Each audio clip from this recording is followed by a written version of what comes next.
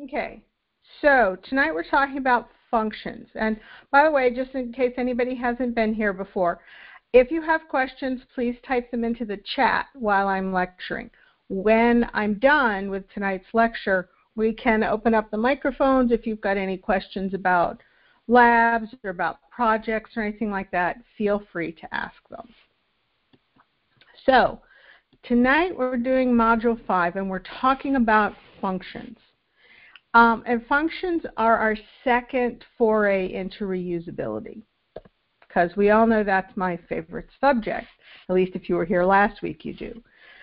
Um, so again, reusability isn't copying and pasting. Reusability is using the same lines of code to handle lots of different kinds of data.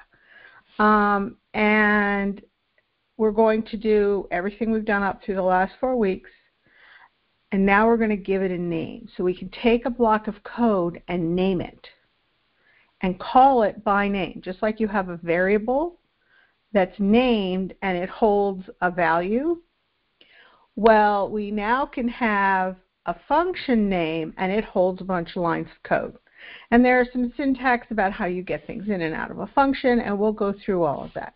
But that's the major point of a function. You get to name a block of code that you can call again and again and again. And you can do anything in a block of code that you've been doing in the global scope, including ifs, whiles, fors, all of that. So, um, what the, what's a function? Well, it's just a group of code. That's all it is, and you name it. So, like you have local scope inside of an if block. You have local scope inside of a function. Um, and this is really our, our beginning of data-driven code. Because, and what do I mean by data-driven code? Well, you want to write your code in such a way that it, any data, let's say it's hooked up to this massive database, and you don't know, you may have an idea of the format of the data, but you don't know what that actual data is. So you have to write code that can handle the kinds of data, but not necessarily the actual values. And that's what we're starting to do with functions. We're starting to carve off blocks of code from our program, put them in something named, and then call that whenever it needs to be called with passing in some values and maybe getting some values back. Okay, so before you can use a function, you have to define a function. All functions in Python have to be defined before they are called. And there are two parts of a function. There's the definition, and then there's the place where you call it. Def is a keyword. It tells Python, hey, there's going to be this name and maybe some other stuff to the right of me. Anything that is indented under me, do not run until somebody calls me by name. So what def is doing is it is creating a storage space for whatever the lines of code that are that are there underneath that function. And Python's going to take that and it's going to put it in a place and it's going to put a name on it and it's going to wait until somebody uses that name. So the thing that comes right after def is the name of the function. Now, function names are pretty close to variable names in terms of what you can and can't do. So you can't have an exclamation point in a variable name, and you can't have an exclamation point in a function name. Those types of things. Um, after that, well, not after that, but inside of that, underneath that, you will have a block of code. Now, the only thing in our block right now is print. Um, but we could have had a thousand lines of code under there, or we could have had two lines of code. It all depends on the problem you're trying to solve. And we have these parentheses. The parentheses have to be there. At minimum, there has to be an open and closing parenthesis. And there may be things inside that parenthesis, but at a minimum, those parentheses have to be there as part of the definition of the function. You cannot have def without an opening and closing parentheses. It's a syntax error, and Python won't let you even, you know, run the code. And then we have our colon. Just like if statements and for and while loops, we have to tell Python where the statement ends. And so they do that again using the colon in Python. So you have to have that colon just like you did with if, else, or if, else, elif, while, for, all of that. So a function declaration is started with the keyword def. Um, it requires the opening and closing parentheses. So the first part is defining a function. The second part is calling a function because a function doesn't do anything until it's called. So I have just typed in print underscore pattern. Print underscore pattern is the name of the function. So Python will equate those two and it will do whatever is in the local scope of the print pattern function. So the function call is without the def and it's without the colon. And in this case, the output's just going to be a bunch of stars. So let's go, and I'm going to do a lot of switching back and forth with code. This, I know I usually talk a lot and then go back to the code. We're going to be switching back and forth a lot because I think that the code examples are important, especially in this module. So this is 5111. Okay. Okay, so this is challenge 511. And you see I've got def print pattern here. And I've just got a little for loop, for i in range 2. Um, and then I call print pattern. So what I've got here is I've got two uh, breakpoints. I've got a breakpoint at line 3, which is the first line inside print pattern. And I've got a breakpoint in the for loop. So why in the world would I put a breakpoint at line 3 if I'm trying to demonstrate something? Because you will be surprised that line 3 does not get executed until you hit line 8. So let's um, let's edit the configuration. 511. And let's debug because we all know how much I like to debug things. So you'll notice that I ran the debugger and it didn't stop on line 3. It stopped first of all on line 7. And that is because line 7 is the first line of executable code that can be run in the global scope. 4 is in the global scope. Remember we talked about scope? We said there was global and local. We started that at, uh, at Module 3, where we were talking about if and branching. We learned, we talked a little bit more about local and global scope last week when we were talking about for and while. And now we're going to talk about local and global scope again. Local scope is a couple of places in this file. The local scope that we first see are lines 3 and 4, and that they are in the local scope of print pattern. And then line 8 is the next local scope we see, and that's because it is in the local scope of the for loop, that's line 7. So it's important to understand when something is in the local scope and when something is in the global scope. So if I step over line 7, I'm going, I've now print pattern. So what I'm going to do is I'm calling the function print pattern. And what Python will do, I'm just going to step over the code, is it will go into the first executable line in the local scope of the print pattern function. And I couldn't say that three times fast if I tried. Um, so it's going to print out a couple of things here on the console. It's going to go back up. We're now I is 1. We're going to call print pattern again, and we're going to print a couple of things. So that is basically how the function works. Now I want to show you a few things that are not great. First of all, right now, lines 3 and 4, we have two lines that are in the local scope of the print pattern function. And I'm going to do one little thing. I'm going to back up here and I'm going to remove because I because I have now left justified print and def I have removed the print with the pound signs in it from the local scope of the um, function.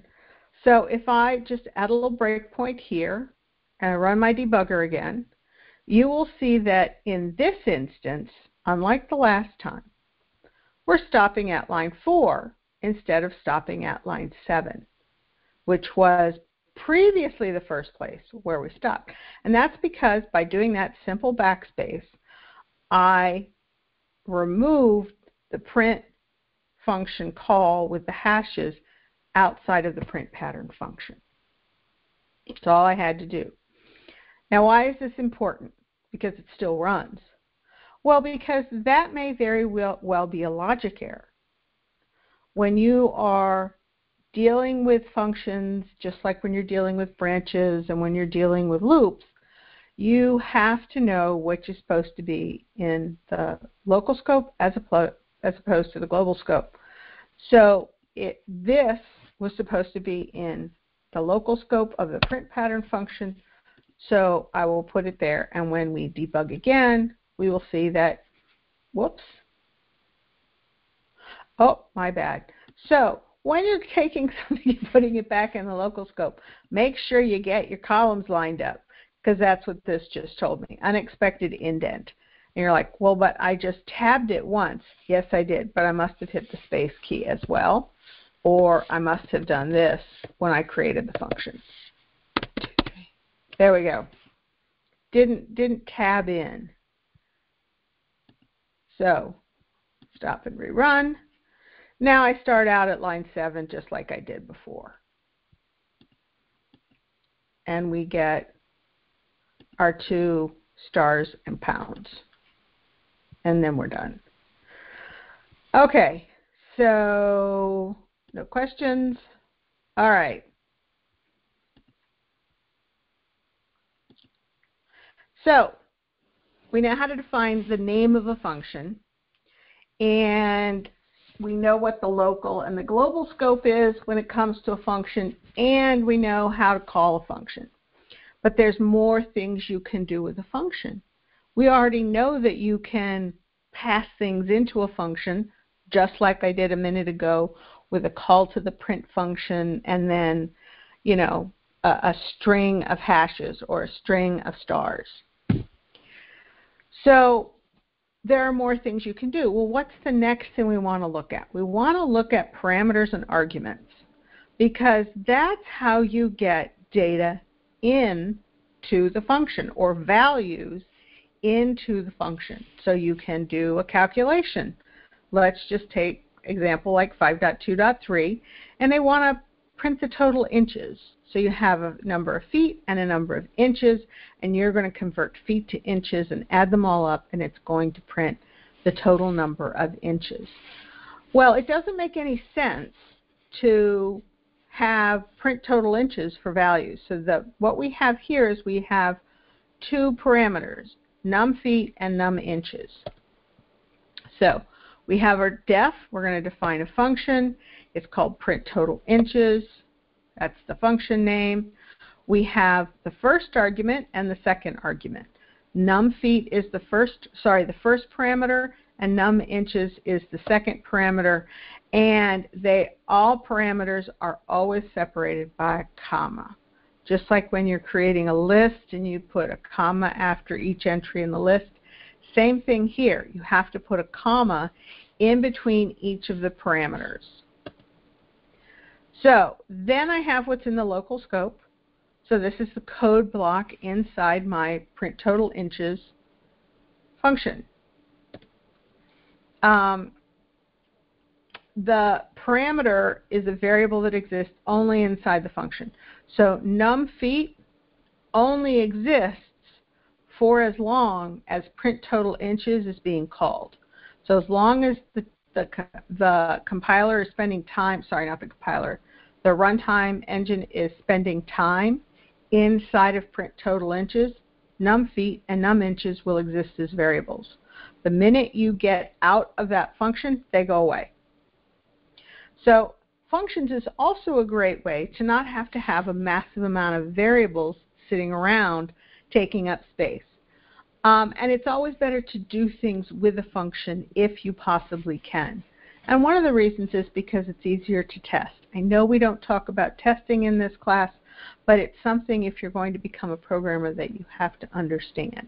You have to create code that is testable. Um, the value of a parameter is provided by the function call. So here we have defined a function that takes parameters. But how do we get stuff into those parameters? We call it with those parameters. So let's take a quick look again at 523. I've got my print total inches. Professor Lisa is sitting here. She's going to put 5 and 8.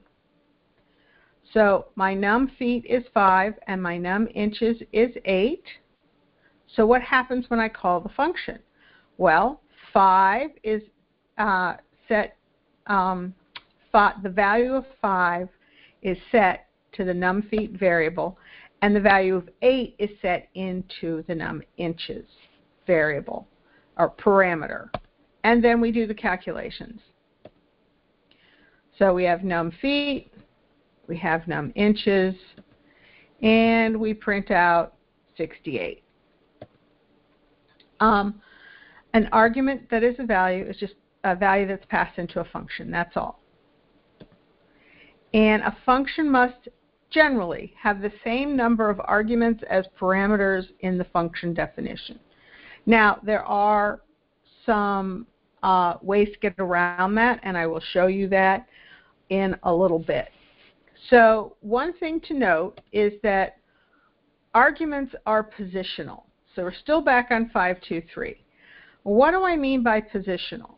I mean the num feet that's in the function has nothing to do with the num feet that's in the function call.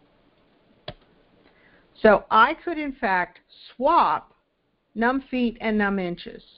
And using the same values 5 and 8 5 is num feet 8 is num inches. Now uh, the parameters in a function are positional they have nothing you could have named them x and y and it wouldn't have made any difference so now when I call put print total inches 5 is the number of inches and 8 is the number of feet because I switched num feet and num inches from the last time. And so now I'm going to get a different output because Python doesn't care the name of variable which contains the, the value for the argument. Python cares what's first and what's second.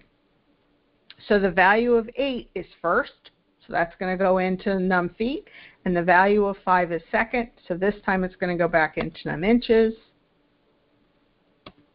And num feet times 12 plus num inches is 101. Same code. The only thing I did was swap num inches and num feet. So let's go back. Yes. Uh, how does it know if num feet and num inches is an integer? Okay. Does a call have to have parameters? It does not. If the, for the most part, if the function definition has parameters, then you need to pass the same number of arguments, but you do not have to define a function with parameters. Your function doesn't have to take any. And in fact, um, when you do your game and you are going to print the instructions for the game, um, you don't necessarily need to call that with an argument when you get the instructions for your game. So let's go to 523 And let's just do a couple things here. Um, so I have feet in inches and inches in feet. And um, I'm going to input those two, and then I'm going to call print total inches. And actually, I don't know that I need to do this. We'll do it real quick. 523. And I'm going to debug it because I like life in the debugger, and it's going to want me to enter the number of feet. So I'm going to say I'm 2 feet, and then it's going to want the number of inches, and I'm going to say 4 inches. And then I'm going, I have feet is 2 and inches is 4. So right now, if I look at frames and variables, and I look at variables, I have feet and inches. So I'm going to now step into, so this is a new trick with the debugger. Okay, we've always been doing this step over thing right here. Well, this is step into. I don't necessarily need to step into because I have a breakpoint in the function, but step into allows me at any point in time to step into the local scope of a function and see what's going on. So you don't necessarily have to have a breakpoint. So if I do step into, now you'll see I have num feet, which is 2, and num inches, which is 4. So I'm going to do my calculation, and I'm going to print it. And then I'm now going to do the swap, which is inches and feet instead of feet and inches. I'm going to step into my function. We'll see num feet is 4 and num inches is 2 because I simply just swapped those variable names. And it's going to print 50. So that is that that's the basics of parameters and arguments. Okay.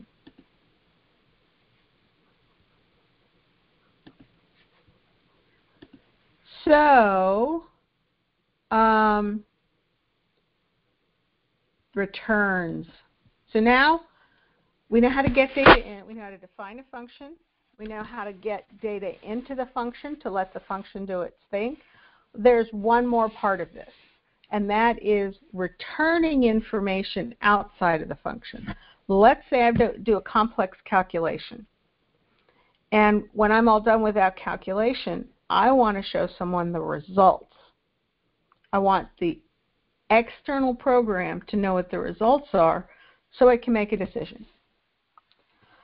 Um, and so I do that with something called the return statement. So again, we have def we have our function name, which is pyramid volume. In this case, we have three parameters, base length, base width, base, base, sorry, I can't say base tonight, base length, base width, and pyramid height. And so what I'm going to do is I'm going to calculate the volume of a pyramid.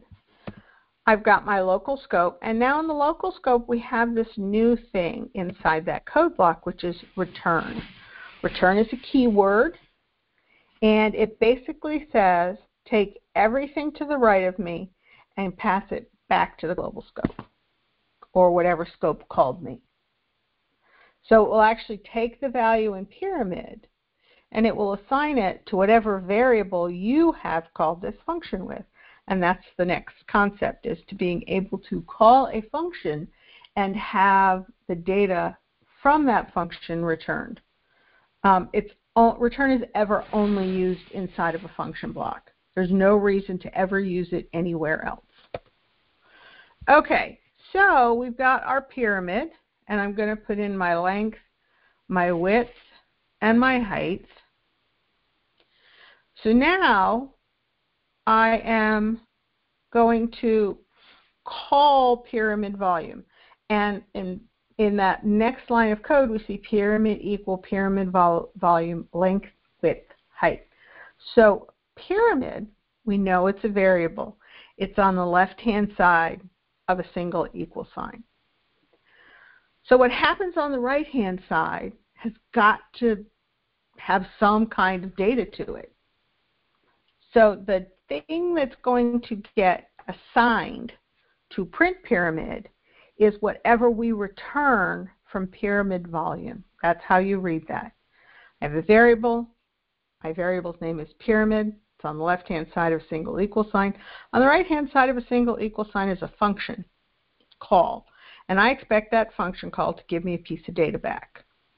And in this case, it's the volume of a pyramid. So length is 4.5, width is 2.1, height is 30. This is positional. So length is the value of length is placed into base length, so that would be 4.5. The value of width, which is 2.1, is placed into base width, and the value of height is placed into pyramid height, and that is 3.0. So what happens? Well, what happens is we're now going to do a calculation. We have base length times base width times base height times the remainder of the formula, and that's 9.45. So Python is going to take 9.45 and it's going to make it the value for pyramid. So pyramid has essentially been assigned 9.45. Now it can print length, width, height, and pyramid. Um, so yeah, you call a function using its name and providing its arguments. Always remember to define a variable before a function call to use the return value. So if your function returns something, you need to have a place to put it. So that's why we have a variable on the left-hand side, sorry about that, and the function call on the right-hand side. Okay, we're about to start talking about objects, and you're like, wait a minute, that's not till week 8. That's correct. But what we are talking about the very basic form of an object in any language is encapsulation, and that is to combine data and process all in a bundle.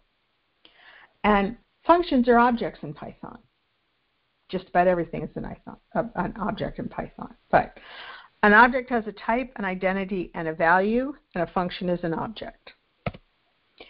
So, identity is the name, value is the parameters, and the type is the return type. So those are the three things that make an object, and we have them. And I just bring this up because PyCharm brings it up, uh, sorry, Zybooks brings it up, and I think it's important to understand where the different components fit within the language. So a function is an object, a class will be an instanti- uh, sorry, an object will be an instantiation of a class. Um, so that's that's all I'm going to say about that. It's just an introduction. Okay, so we've seen this before. We're seeing it again. Scope indicates when a variable is available for use. Local scope, global scope. Those are the only two we care about in this class. The local scope would be inside of a function, and the global scope is the top level program. So uh, for anybody who hasn't been here, I showed this in week three, and I talk a lot about scope, when something's in the local scope or when something's in the global scope. So this is what I'm referring to. The global scope is literally a big bubble around everything else. And then you have a local scope or multiple local scopes depending on what your Python is do Python script is doing. Okay. So a bit more about scope. You knew I was going to say something. The function name exists in the global scope, so it can be called from the global scope. Parameters are in the local scope, so they can only be called from the local scope of the function, and that's the local scope of the function. And that's the local scope of the function. However, the return statement makes the value available to the global scope. So what you've got is you've got like a portal in to the function, which is using the function name, and you've got a portal out of the function by using the return statement. So I used to work for a mathematician, and she called them goes intas and goes outas. So we have goes into that are going into the function, goes out of which goes out as which are coming out. Um, a function can be called from any scope. If the function is defined in the, local, the global scope, it can be called from anywhere. However, it has to be defined before you call it. So my rule of thumb is when I'm writing functions, I will often um, I will often just write my functions at the top of my script, or I'll write them in their own module, and then I will use the code that needs those functions underneath the definition. So literally, you'll see def def def def def in the beginning of a Python script, and then you'll see where it's getting used later in the code. And then arguments make data available from the global scope to the local scope. Okay.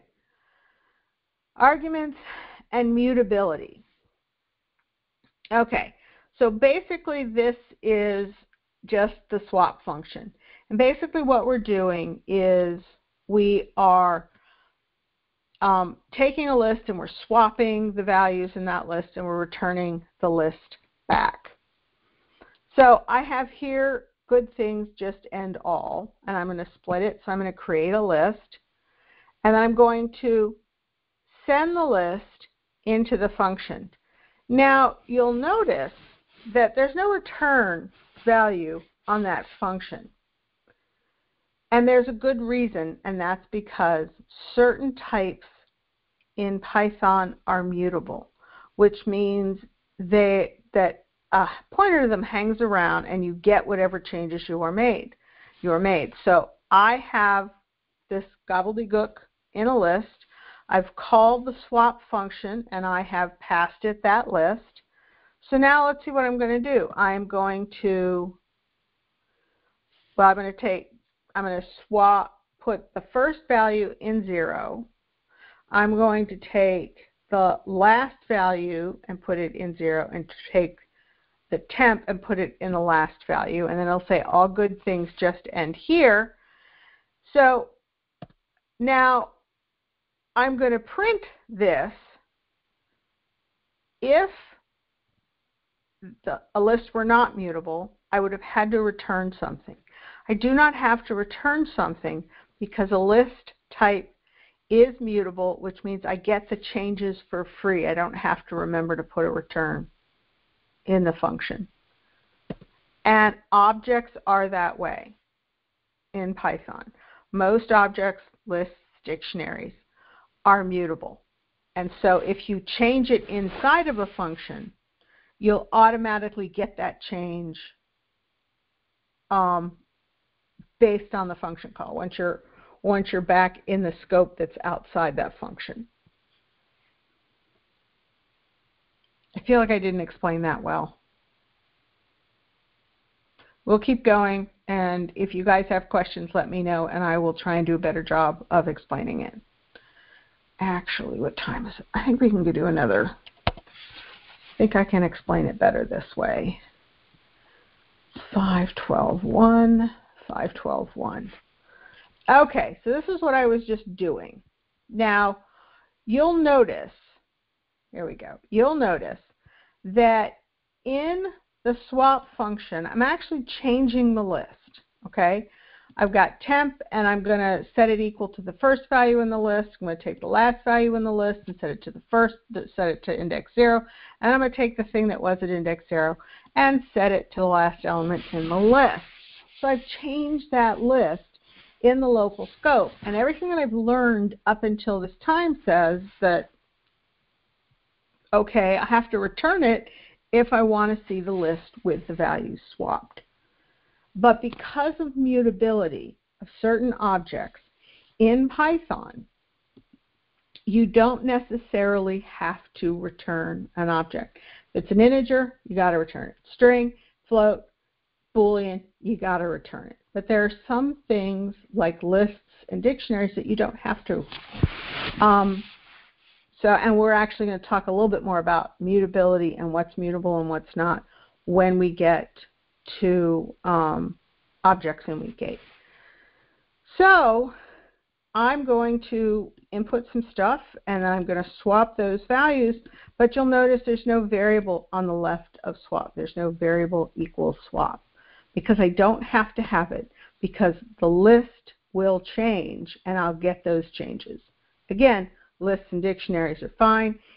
You, you always have to return if you have integers, um, strings, floats, booleans. So let's just debug this real quick.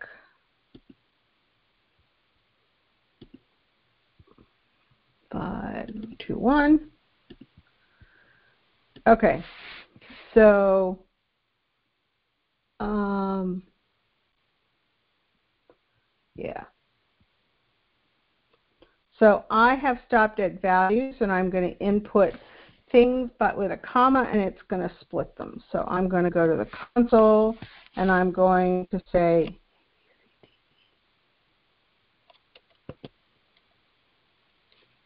whoops Oops, I forgot my commas. B, C, D, A. Yes.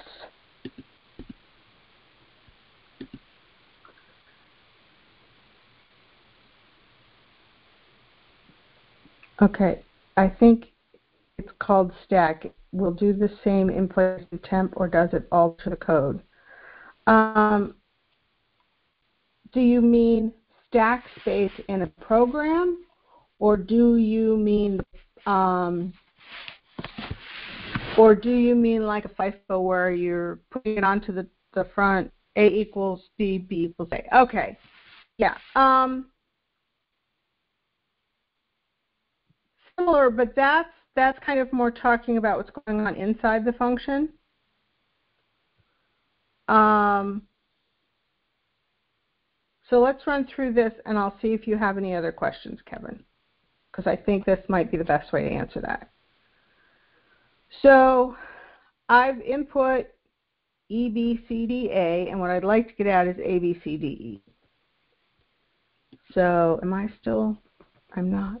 Am I still going or did I stop? I stopped, didn't I? Okay, let's start this again. Stop and rerun. Okay, let's do this again. Okay. I do not know what's going on right now. Hold on. Stop. Everything is stopped. Debug. Good. I'm debugging now. Okay. So step over. What minus 1 does in this example is it says the last element. So list to swap has five elements. So if I want to get at the very last element and never have to worry about doing a length, I use minus 1.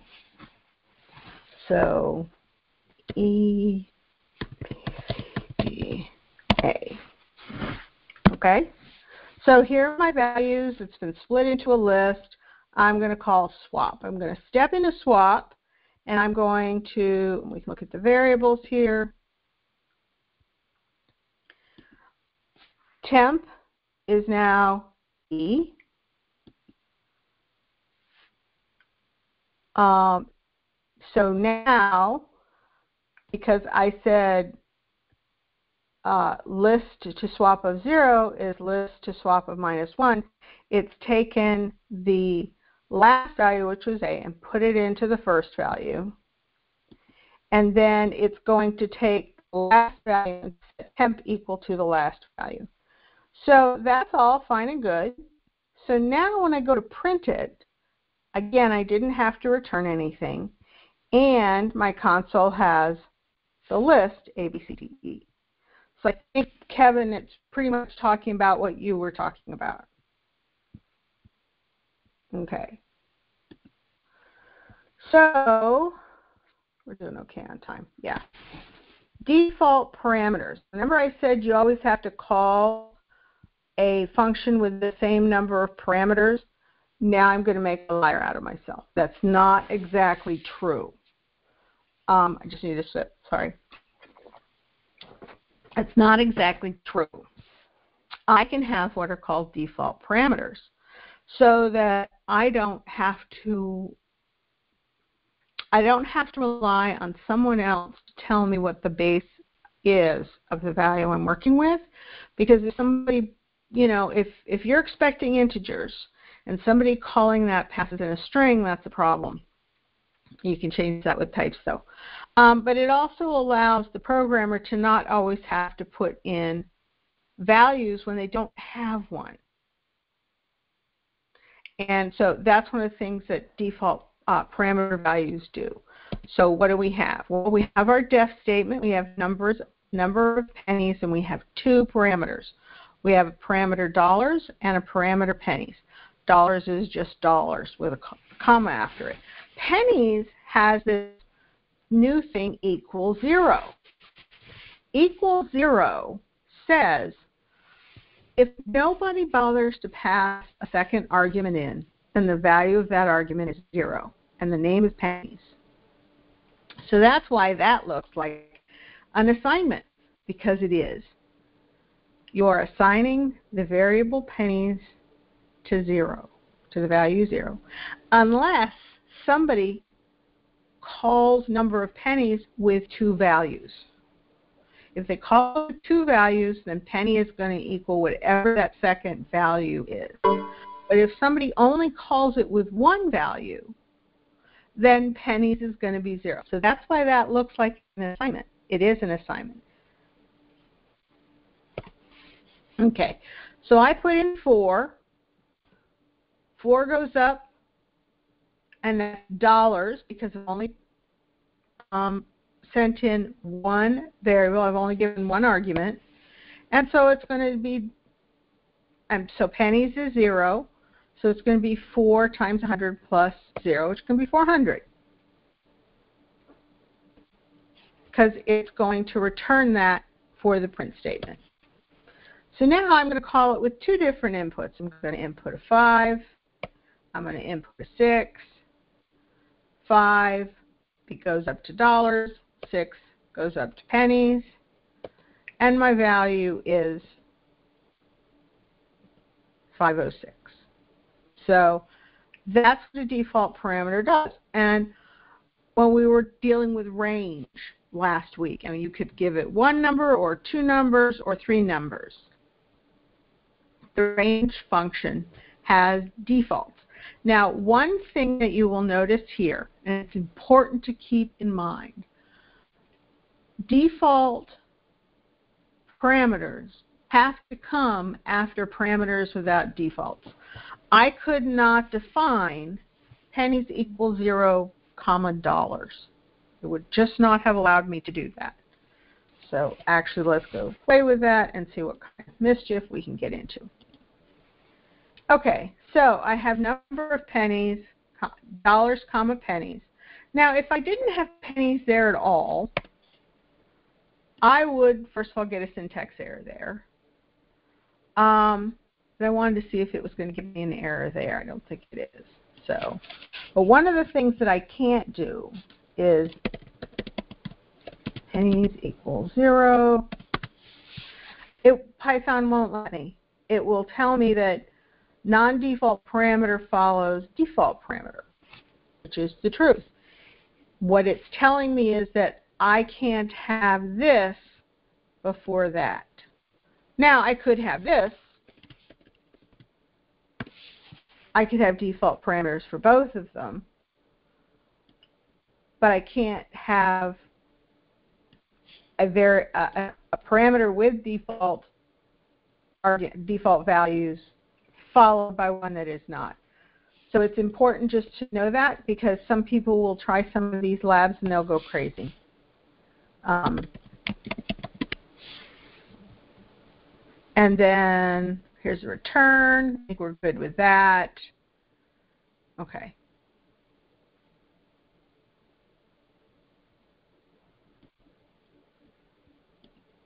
Okay. Multi-returns. Multi-returns are awesome. They're something that very few languages have. I think I've been playing with Rust because I think I'm going to have to learn it for work. they have multi-returns, but Java doesn't have multi-returns. C and C++ don't have multi-returns. What am I going on about? This whole multi-return thing. The nice thing about Python, and it's the way you can return things, is you don't have to create a structure just to return two or three or ten um, elements from a function. You can just return them. I know it probably seems like it's reasonable, but this is something that pretty much didn't happen except in Python, and certainly in no language that I've worked on other than Python. And it's very handy, um, and it, in some ways, it makes code simpler because you're not have to necessarily define something else like a list to put things in. So what am I babbling about? Um, well, I've got this function move, okay, and move has, uh, I've got um, two lists. Sorry, I went backwards. I've got a function move. Move takes two lists as parameters, and then I'm going to swap those lists. So in my function call, you'll see that I have something different on the left-hand side of my call to move. I have L1, comma, space L2. What in the world is that doing?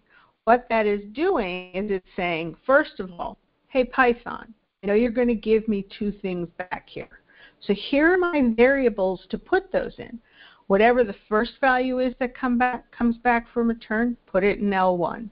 Whatever the second value is that comes back from return, put it in L2. Now, it's important to look at this and, and understand what this is, partly because you're going to have to write a function called swap and do this. Not with lists, but with uh, just regular values, no structures. So I call move it with a list, 1, 2, 3, and I call move it with another list, 456. So I'm going to now return both lists after shuffling things around. So I'm going to return 153 after what we need to do in the function is done. And I'm going to return 426. And L1 is going to have the value of 153. And list 2 is going to have the list value of 426. And then I'm going to print 153. And I'm going to print 426. So this this is very handy if you're programming in Python a lot. If you're not, you're going to have to still do this for a lab this week.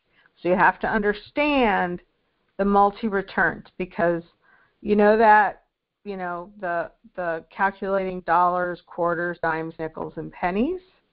Well, you're going to do that one again, except now you're going to make it into a function. And that function is going to have to return multiple values. It's going to have to return dollars, quarters, nickels, dimes, and pennies from the function that you're using. So it's important to understand multiple returns. Um, they're based on a position in the return statement. It's all passed by assignment. Okay, so there's no there's no um, there's no link between list one and L1 other than the position that list one and L1 are in in the return and in the assignment that's going to happen um, after that return. Okay, unlike a lot of languages, Python allows multiple return values from a single function. Okay, so now we're getting into the labs. Um, so lab 5, what am I doing? Here? This is the swap function. So we actually have two things because in Zybooks you're also going to read about the main function.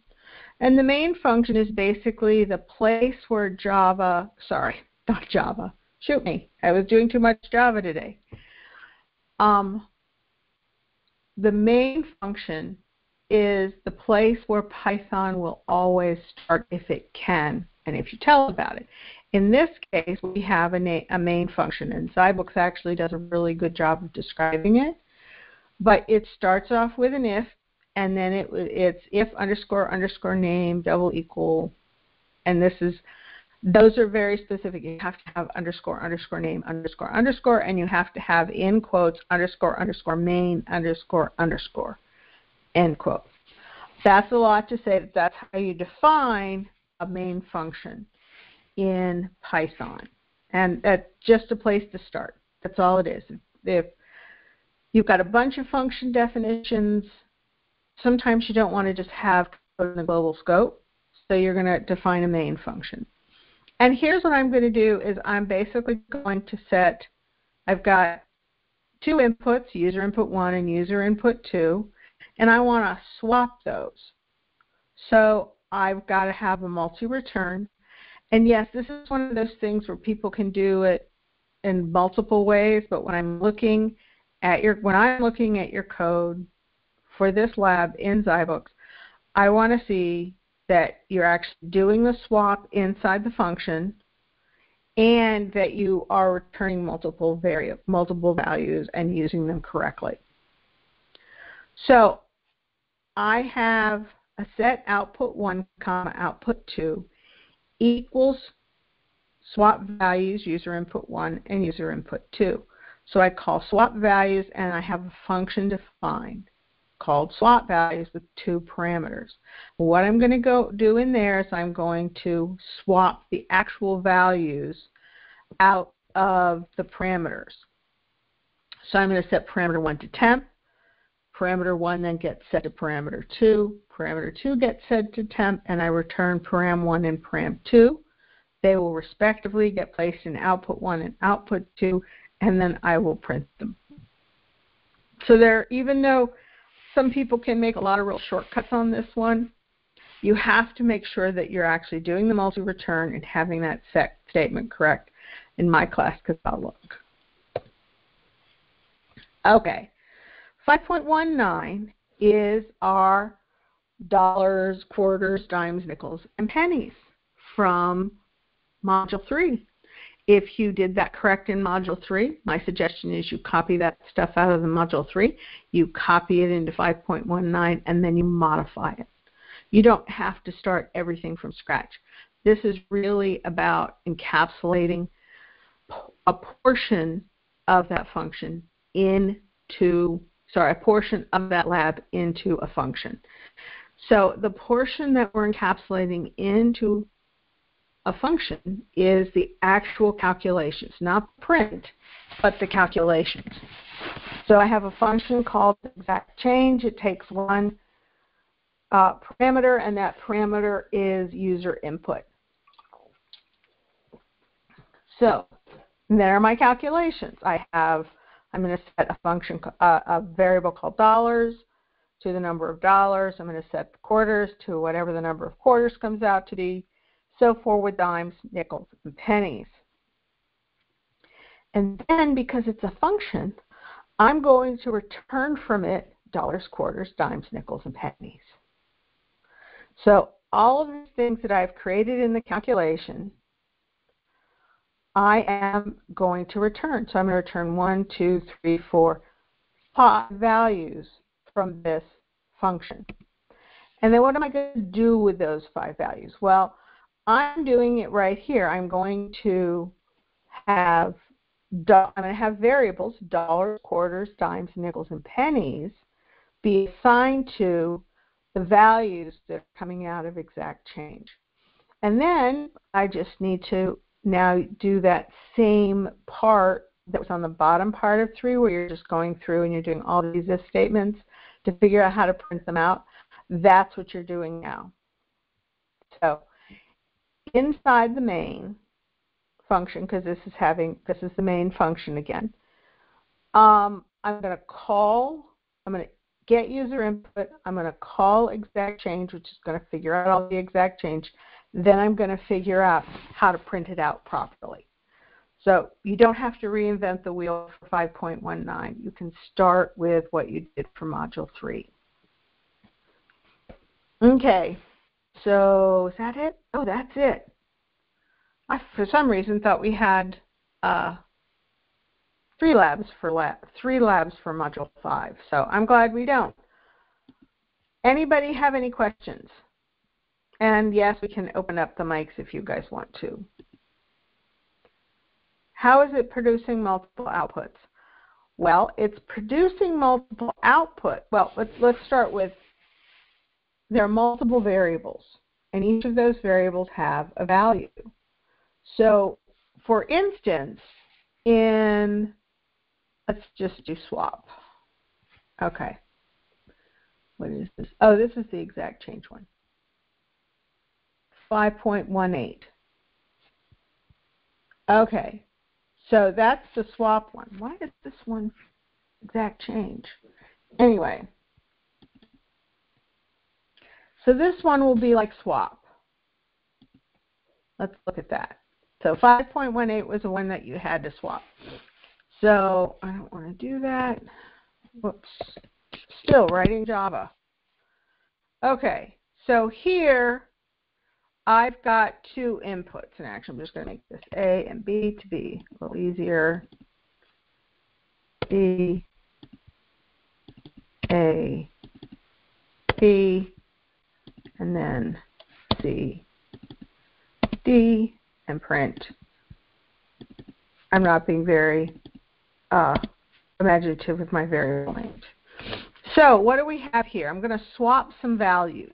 Okay, I've got a function called swap. It takes in two parameters and it returns two values.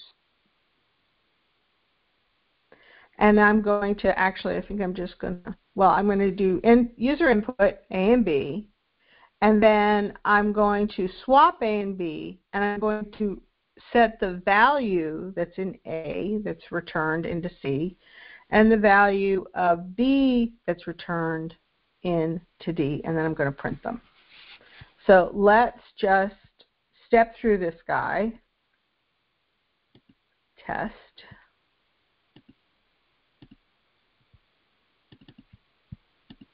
Okay. So I'm just going to debug. So it wants, um, I'm going to put one, I'm being really unimaginative tonight, and three. Okay?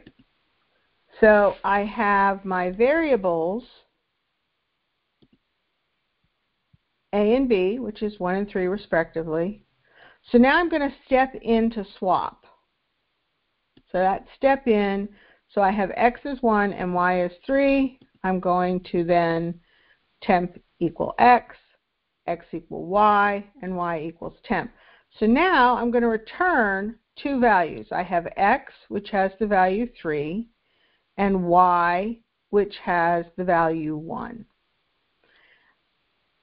So what it's going to do is it's going to say it's positional. So it's going to say x is going to be, the value of x is going to be returned and placed in value c. The value of y is going to be returned and placed in value d. So if I step over that, I still haven't defined it. Um, you'll still see those variables aren't there yet, but as soon as I step over that function call, I have C is 3 and D is 1, and then I can print them. Did that help answer your question, Kevin?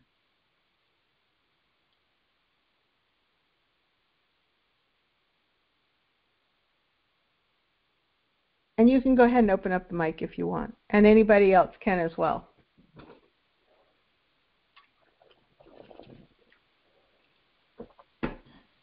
Okay.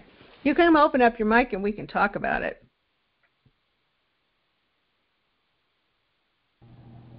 Can you hear me? I can hear you. All right. Um, it just looks like it's going through the same code. Like, uh, like the same variables are being put in. And it's pop, like I'm trying to do the lab for this one. And if I remove the return and print the statement up above, it'll give me the first one. But if I remove the print from the first one and put the return in, it'll give me the other three, but not the first one. So I'm trying to understand this multiple um, outputs. Okay, so I'm just trying to get. So you tried it by putting a print statement in the swap values, right? Yes. Okay. And that got you the correct output. Was that right? For the first one, it was like five and three, I think. Okay. Um, but it didn't get you the right thing for any of the other ones. No. Okay. Um, so my guess is what's happening is well, there's a couple things that could happen. Sometimes people put values in here rather than the variables associated with those values. So one thing to check is to make sure, um, yes, David, they are recorded, and it'll be up on my YouTube channel tomorrow. Sorry, Kevin. Um, so let's let's let me take a step back. Does your um, swap values look similar to this?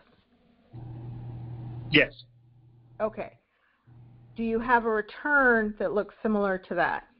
Yes. Okay. So here, do you have a do you have two variables on the left-hand side of a single equal sign separated by a comma?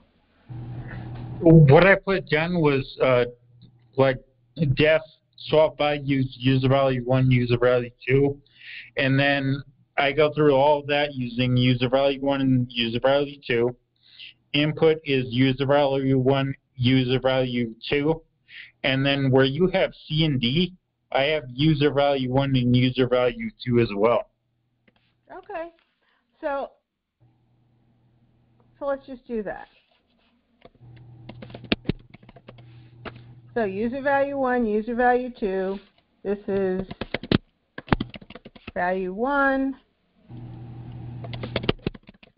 value 2.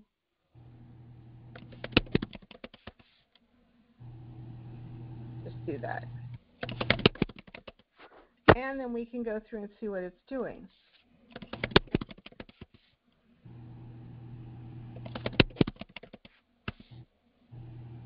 Okay, and you have user value here as well, right?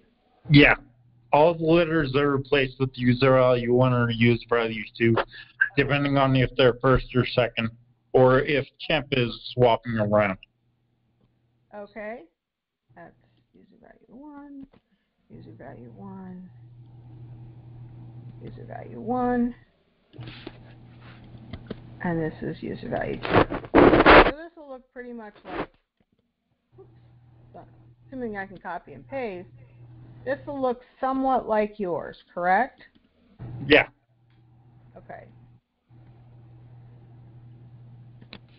So let's see what happens. So I'm just going to go here, and I'm going to debug, and it's going to. So I'm going to say user value 1 is 3 and user value 2 is 42, just to make them easier to differentiate. So that's exactly what I wanted it to do. So let's step in to swap values. So I have user value 1 is 3 and user value 2 is 42. So we're going to do the swapping. So now we have user value 1 is 42 and user value 2 is 3. So now I'm going to return, let's double check, 42 and 3. Yes, they're positional, so I'm going to step over this and back on this line, these two are still their old values, 3 and 42. So let's see what happens when I step over them.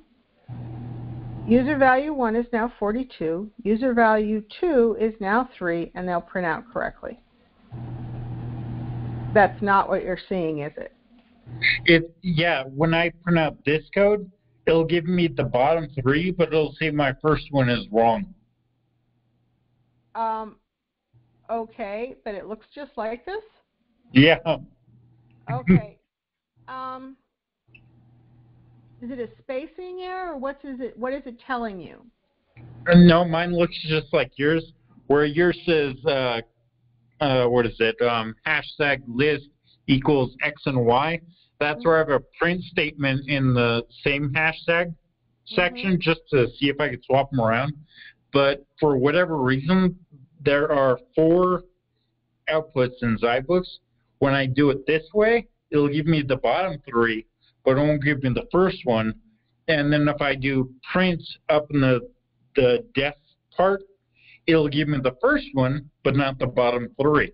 That's why I'm trying to understand this multiple values because it's like uh, it doesn't make sense. Because yeah, it looks accurate. It's 100 percent. Um, yeah.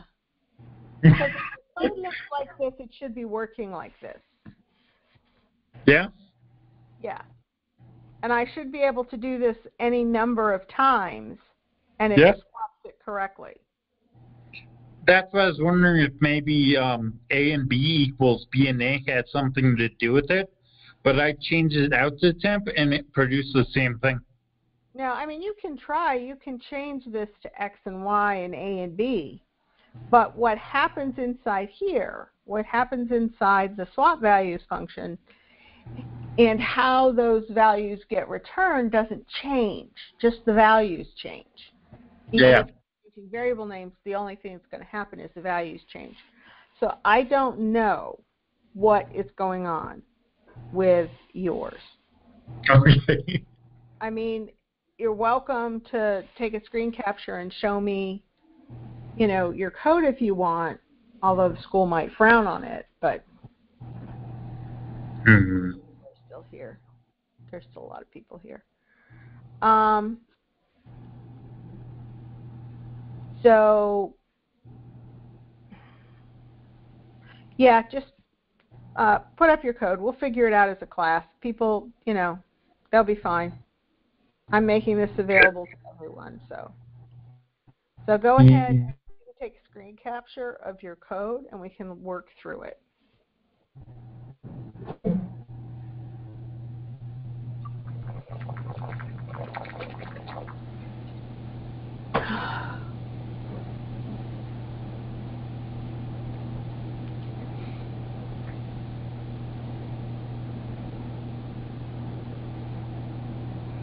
While we're waiting, does anybody have any other questions about any of any of what we're doing and we're about to do? I'll, I'll be happy to answer them.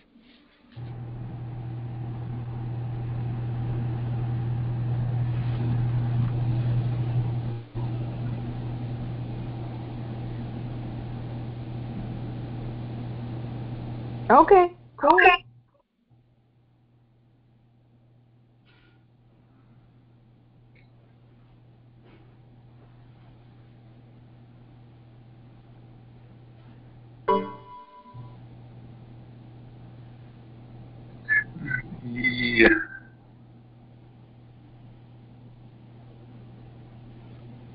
By the way, for anybody else who's here, you don't have to stick around at this point. I'm just going to work through a problem with Kevin, and you guys are welcome to stay. You don't have to stay. Okay. Def swap values. Ah, okay. You're not doing exactly the same thing as I am. Oh. Sorry. So that won't work. What you need to do is you need to actually do the temp thing. I mean, we can try it with this code, but and see what it does. Let's do that. yeah, the I changed it back to that way. Everything above ten is like just comments to myself. Okay. So let's just do this. Let's see what Python tells us. So we can say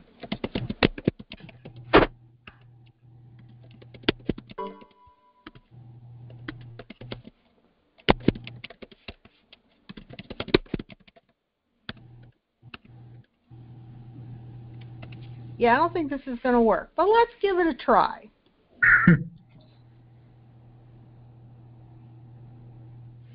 So we're going to do 3 and 42 because they were easy to see. So now I'm going to call swap. I'm going to step into swap, and it's going to say two, user value 2, user value 1 equals user value 1, user value 2. So what's going to happen here to my variables? 1 is 42 and 3 and user value 2 is 3. So that's 42 and that's 3. So let us step over, step over. So this is 42 and 3. It swapped it. It did work.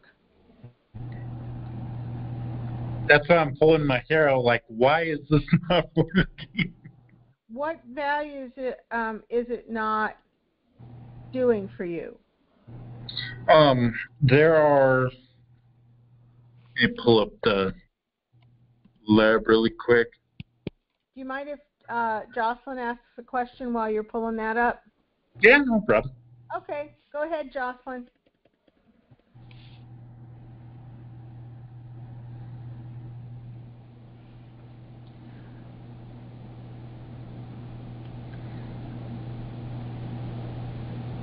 Okay, so let's go look at the rubric and we'll see what that is. So this is what we're turning in for week five, correct? Oh, I can't do that. I don't have everything up. So this is the dragon game, I believe. Five, six. Yeah, this is the dragon game. So what you're supposed to do, well, let me get into my accounts.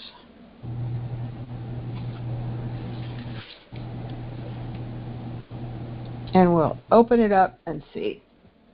Read through it together. Don't know why it takes this authenticator so long. So let's get into Brightspace. And we will go to Learning Modules, Module 5, and let's take a look at the rubric. Um, project 1 submission, requirements and rubric. Okay, I will look at that in just a minute, Kevin. Yeah, no problem. Okay. So um, you create text-based games. You're going to design a game as part of an idea pitch. So what you have to do this week is you have to create a storyboard to plan your game using one of the templates. Um, and basically what you want to do this week, what you're doing this week is you are creating a storyboard and you're giving a written description of what your game is. Um, next week we will do some more stuff, but that's what this week is for. So the storyboard is just a map. What it really is is your eight rooms. You have to define eight rooms for your game, and your player moves between those rooms on steps four and five. Okay, so create pseudocode or a flowchart that logically outlines the steps that will allow the player to move between rooms. Okay? Create pseudocode or a flowchart that logically outlines the steps that will allow the player to get the item from the room they are in and add it to their inventory. So there are a couple of things here that we have to understand. One is that the player is going to move and that there's a concept of an inventory and the player is going to get things and carry it with them. So the first one I find can be very conceptually difficult for students because, especially new students, because we talk about moving between rooms, we're getting up, we're physically walking into another room, and then maybe we're sitting down again. But we're in a divided space, and we're moving between that divided space however we move. You can't do that in Python. So how do you do that? You do that by setting a variable. So let's say Okay. Okay, we'll go in and look at that one in just a minute. Is that okay, Kevin? Yeah, no problem. Okay. So for moving between between rooms, what do you have to do in a program to go from one room to another? Well, you have the concept of a current room. I'm sitting in my living room. My, my current room is my living room. I want to go to the kitchen. And when I'm in the kitchen, the kitchen will be my current room. So the current room changes, the value of current room changes from living room to kitchen. And that's how you change it in Python. You simply set another variable. So where is the user, where they're coming from, can they get to where they're going? Is that move allowed? And then you return the value that's going to be the new current room. So you have four moves, north, south, east, and west. And what you want to define is a generic pseudocode, not, you know, I'm in room A and I want to go into room B. You want to say, I have where I'm starting, my current room, and I have a direction, north, south, east, or west. Based on that direction, and can I get from my current room to the new room? And if so, then I return the new room. And if not, then I tell it it's valid. It's not valid. So that does that help with a little bit with four?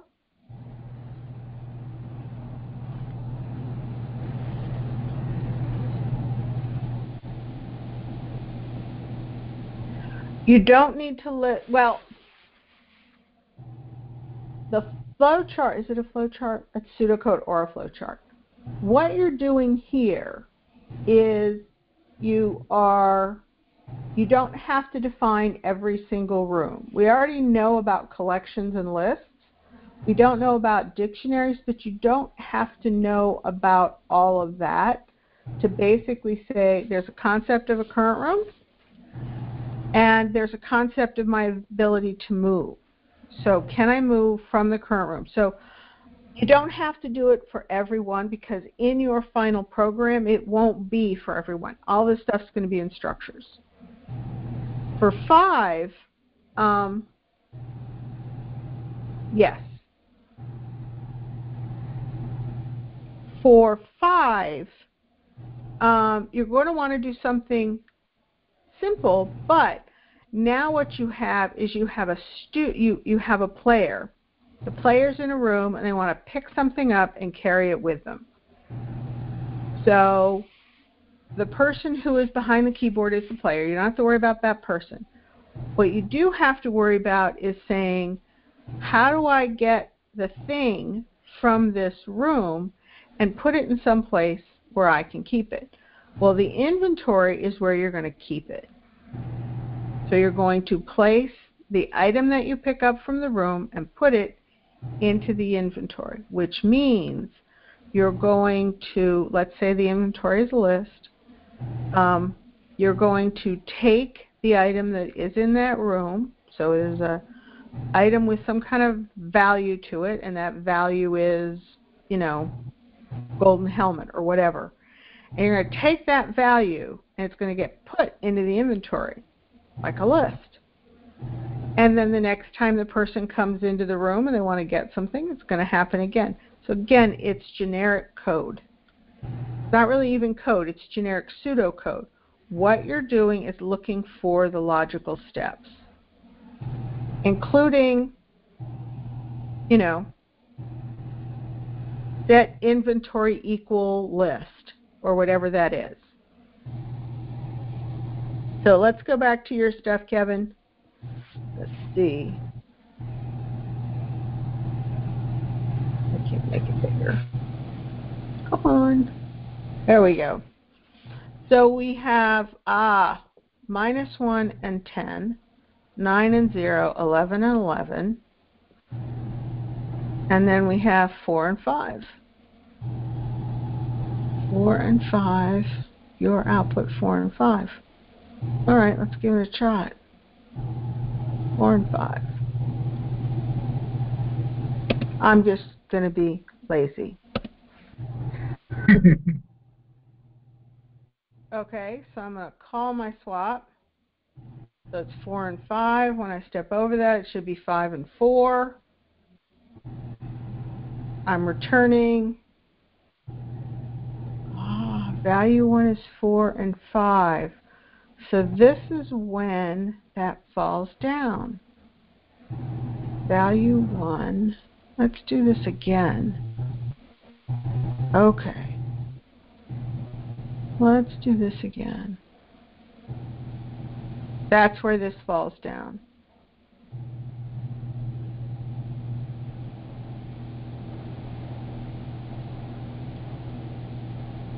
So user value is 5 in here, and it's 4 in there. When I step over, huh, it's 5. No, it's 4 and 5. So now let's do something. Let's do this and try it again. That that will work.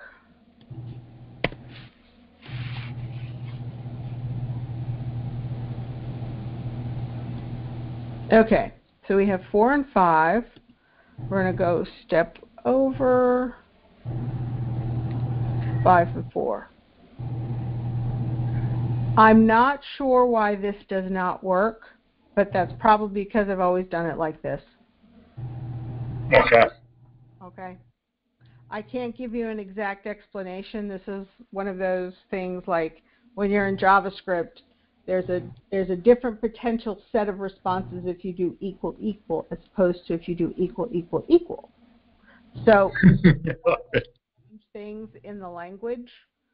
Um, so yeah, I, I don't know why this doesn't work, but when I've ever whenever I've written a swap function, I've always written it like that. okay. Okay. All right. Okay. Does anybody uh, else have any questions? Going once, going twice. Everybody have a very good evening, and um, this should be up tomorrow on the YouTube channel.